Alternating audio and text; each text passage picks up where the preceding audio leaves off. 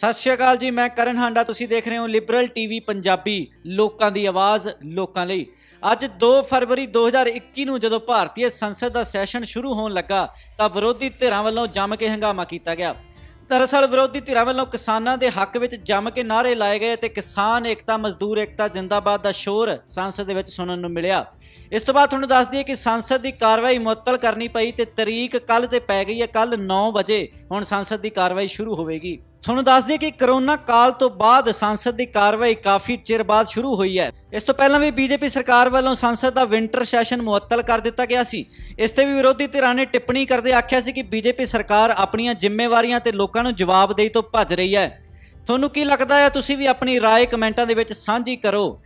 ਕਿ ਬੀਜੇਪੀ ਸਰਕਾਰ ਕਿਸਾਨਾਂ ਦੇ ਮੁੱਦੇ ਤੇ ਆਪਣੀ ਚੁੱਪੀ ਤੋੜੇਗੀ ਕੀ ਵਿਰੋਧੀ ਧਿਰਾਂ ਵੱਲੋਂ ਪਾਇਆ ਜਾਣ ਵਾਲਾ ਸ਼ੋਰ ਸੱਚਮੁੱਚ ਕਿਸਾਨ ਹਿਤੈਸ਼ੀ ਹੈ ਜਾਂ ਫਿਰ ਇਹ ਵਿਰੋਧੀ ਧਿਰਾਂ ਆਪਣੀਆਂ ਰਾਜਨੀਤਿਕ ਰੋਟੀਆਂ ਸੇਕ ਰਹੀਆਂ ਹਨ ਤੁਸੀਂ ਵੀ ਦੇਖੋ ਸੰਸਦ ਦੇ ਵਿੱਚ ਹੋਏ ਹੰਗਾਮੇ ਦੀ ਇਹ ਵੀਡੀਓ महोदय मैं आपकी अनुमति से ये I I move that the following that this house to agree with 18th report of the business advisory committee presented to the house on 1st February 2021 thank you प्रश्न ये कि सभा एक फरवरी 2021 को सभा में प्रस्तुत कार्य मंत्रणा समिति के अठारहवें प्रतिवेदन से सहमत है। जो सदस्य इसके पक्ष में हाँ गए जो सदस्य विरोध में ना गए मेरे विचार में निर्णय हाँ वालों के पक्ष में हुआ।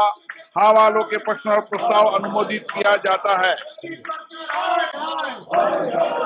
थ्री सेवन सेवन, मान्य सदस्यगण नियम थ्री सेवन सेवन के अधीन मामलों को सभा पटल पर रखा जाए।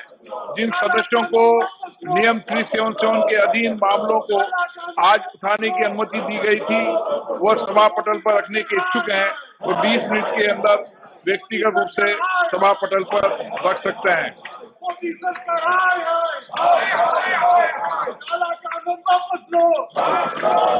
मान्य सदस्यगण, मैं आपसे पुनः आग्रह कर रहा हूँ कि आप अपनी सीट पर विराजें।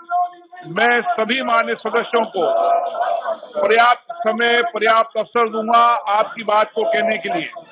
ये सदन चर्चा, वाद विवाद, संवाद के लिए और आपको देश की जनता ने इसलिए चुनकर भेजा है कि आप चर्चा, संवाद कर कर उनकी समस्याओं का समाधान कर सके।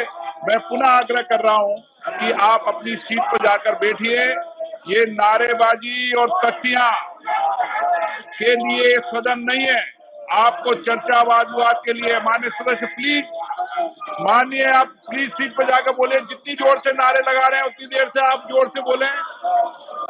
सभा की कार्रवाई को सात बजे तक के लिए स्थगित की जाती है।